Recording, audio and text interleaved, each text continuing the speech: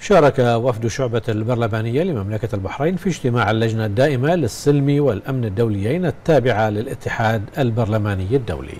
وتضمن الاجتماع مناقشة عامة بعنوان الهجمات والجرائم الإلكترونية المخاطر الجديدة على الأمن العالمي حيث أكد وفد الشعب البرلمانية حرص السلطة التشريعية على مراجعة التشريعات النافذة وتطويرها بشكل مستمر بما يتلائم مع آليات التصدي للهجمات السبرانية والجرائم المستحدثة.